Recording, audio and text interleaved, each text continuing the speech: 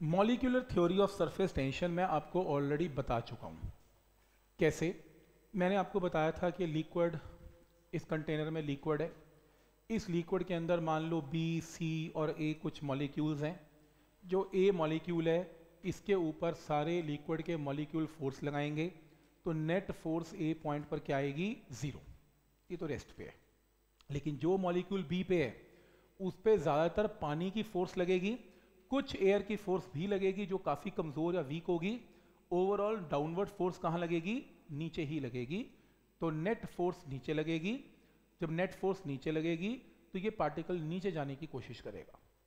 फिर ये मॉलिक्यूल की बात करते हैं। इस मॉलिक्यूल को आधी फोर्स पानी की लगेगी और आधी एयर की लगेगी। पर नेट फोर्स पानी की ज़्यादा होगी तो ये मॉलिक्यूल भी कहाँ जाएगा? नीचे आ जाएगा।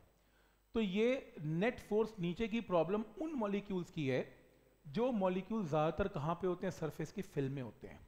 तो जो मॉलिक्यूल सरफेस की फ़िल्म में उनके ऊपर नेट फोर्स नीचे लगती है और ये मॉलिक्यूल नीचे आ जाते हैं। राइट क्लियर है? और सरफेस एक स्ट्रेच मेम्ब्रेन की तरह काम करती है। ये मॉलिक्यूलर थ्योरी है। ये पूरी एक्सप्लेन्ड है। इसमें यही एक्सप्लेन्ड है कि ए पॉइंट पे नेट फोर्स ज़ीरो है। बी पॉइंट पे downward force net downward force नीचे की तरफ़ है। सी मॉलिक्यूल की बात करते हो तो सी मॉलिक्यूल पे रिजल्टेंट डाउनवर्ड फोर्स मैक्सिमम है, सबसे ज़्यादा डाउनवर्ड फोर्स सी पे है। Due to this downward force potential energy of the molecule of surface film is higher than those lying with inside the liquid वो कह रहे हैं कि ये जो टॉप के फ़िल्म के मॉलिक्यूल्स हैं, वो ऊपर होते हैं। एज कंपेयर टू नीचे पानी के मॉलिक्यूल और ये मॉलिक्यूल को नीचे खींच लिया जाता है ताकि इनकी पोटेंशियल एनर्जी क्या हो जाए? मिनिमम कम से कम हो जाए। आप केमिस्ट्री में भी पढ़ते हो। इलेक्ट्रॉन हायर शेल से लोअर शेल पे गिरता है, ताकि आपकी अप एनर्जी को क्या कर सके, कम कर सके और स्टेबल हो सके। ये भी ऐसे ही कर रहे हैं। जो टॉप के मॉलिक्यूल्स हैं सरफेस फ़िल्म के अंदर, इन मॉलिक्यूल्स की एनर्जी का लेवल हाई होता है और ये नीचे गिर जाते हैं, नीचे आते हैं। ऐसे बोल लें, नीचे इसलिए आते हैं क्योंकि इनके ऊपर फोर्स लगती है। इनकी एनर्जी मिनिमम हो जाती है, कम करते हैं ताकि अपने आप को क्या कर सकें? स्टेबल कर सकें। तो यही एक्सप्लेन्ड है इसमें।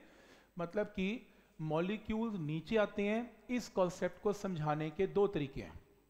पहला कॉन्सेप्ट ऑफ़ फोर्स दूसरा concept of energy concept of force से ऐसे समझाया जाता है कि टॉप के मॉलिक्यूल्स इसलिए नीचे आते हैं क्योंकि उनके ऊपर नेट फोर्स नीचे एक्ट करती है। एक्सप्लेनेशन नंबर वन एनर्जी के पॉइंट ऑफ़ व्यू से टॉप के मॉलिक्यूल इसलिए नीचे आते हैं ताकि अपनी एनर्जी को मिनिमाइज कर सके और स्टेबल हो सके। एक्सप्लेनेशन नंबर टू तो दोनों इसमें एक्सप्लेन है कि पोटेंशियल एनर्जी को क्या करते हैं वो मिनिमाइज ताकि अपने आप को क्या कर सकें?